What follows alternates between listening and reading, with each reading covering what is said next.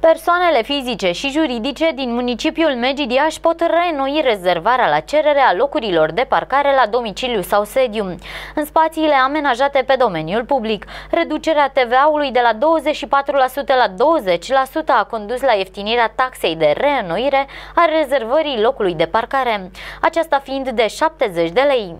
În scopul prelungirii autorizațiilor pentru anul în curs, cetățenii sunt așteptați la Direcția de Gestionare a Domeniului Public și Privat Megidia din strada Republicii numărul 36B. Megidienii care vor să adjudece locul de parcare dorit trebuie să prezinte copii după actul de identitate după certificatul de înmatriculare, precum și o cerere tip.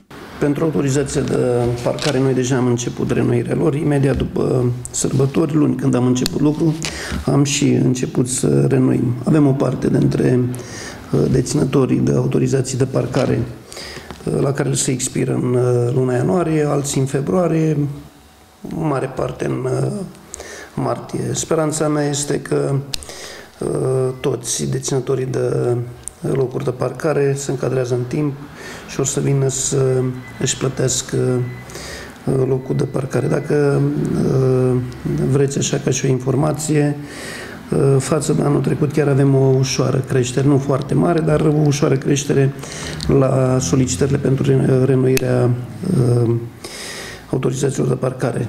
Uh, mă bucur mult pentru prilej. Pot să anunț deținătorii de autoturisme să vină și să, să și obțină avizul de parcare pentru că noi putem să oferim Uh, un număr foarte mare de locuri de parcare, deci avem disponibil.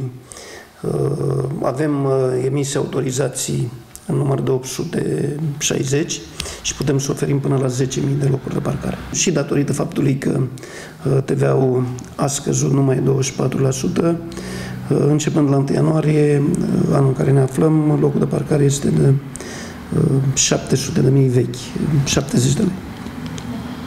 Ce documente sunt necesare pentru eliberarea autorizației de parcare? Trebuie o cerere, copie după uh, talonul mașinii și uh, copie după buletin. După buletin să facă dovada că acolo unde cere locul de, locul de parcare are și domiciliu, în imediată apropiere a locului de domiciliu. Persoanele cu handicap beneficiază de gratuitate și trebuie să atașeze la dosar actele doveditoare.